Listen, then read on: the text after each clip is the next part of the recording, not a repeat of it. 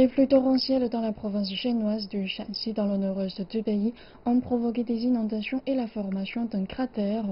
Deux véhicules ont été engloutis par les eaux samedi, mais les passants ont pu empêcher le troisième de se faire engloutir. Les fortes pluies ont causé la formation d'un cratère de 30 mètres carrés dans la ville de Yan'an et une vidéo amateur montre plus de 30 bassins dirés en véhicule à l'aide d'une corde.